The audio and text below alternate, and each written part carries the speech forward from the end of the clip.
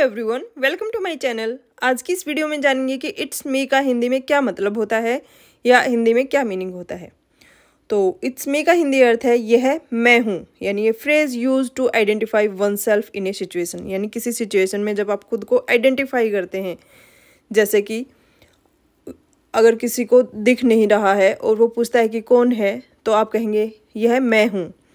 For example when the phone rings says say it's me जब phone बजता है तो कहो, यह मैं हूँ। तो इसके साथ इस वीडियो में बस इतना ही।